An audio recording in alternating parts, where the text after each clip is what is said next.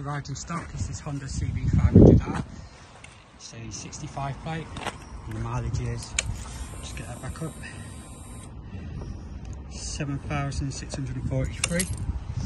Bike should top a full valley, just a quick walk around video. Through around the bike.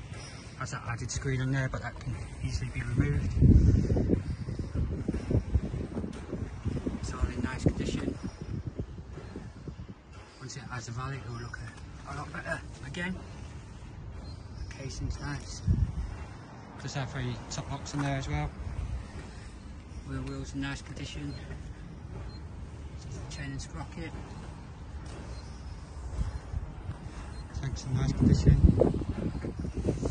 Dash all works as it should.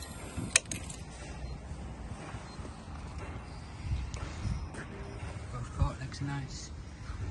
Headers are nice. Again, once it's had a full valley, it looks a lot better.